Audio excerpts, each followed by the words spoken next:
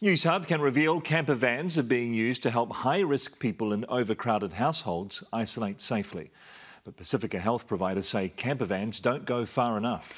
It comes as a church minister says he's used a church hall to isolate 14 boys, 13 of whom have tested positive. Investigations reporter Michael Morrah has this exclusive story.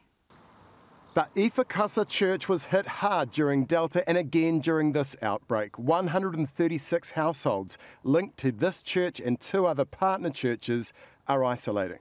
All of our houses were not designed for to have a special place for isolation, and I think all families, uh, they are all, we are all struggling because of that. 14 boys are isolating in the church hall. They'd been away on a trip when they learned their parents had the virus. When they came back, they were not allowed to go back home, so they were forced to stay together. He says support the boys received has been excellent, although the isolation clock restarts for all 14 each time one tests positive.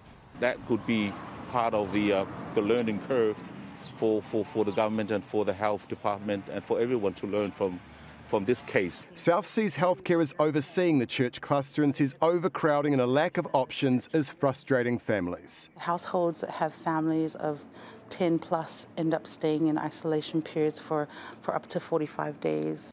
At the South Seas Community Isolation HQ, the cluster's growth is monitored in real time and shows in some cases up to 16 people are living in one house. Our experience is that we've got families who have got um, you know, big families that have got elderly folks and also people with multiple um, health conditions. He says 15 families were escalated for alternative accommodation, but only three got a room in MIQ.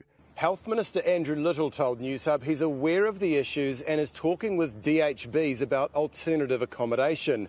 He says MB now has access to 125 camper vans, but they'd only be allowed to be used in exceptional circumstances. But the concern is camper vans are not the solution. A camper van doesn't quite go far enough. We need to look at alternatives where big families can actually self isolate. Auckland is the epicentre of the Omicron outbreak, but Counties Manukau is the hardest hit DHB with 2,602 active cases, compared with 890 in Auckland and 580 in Waitemata.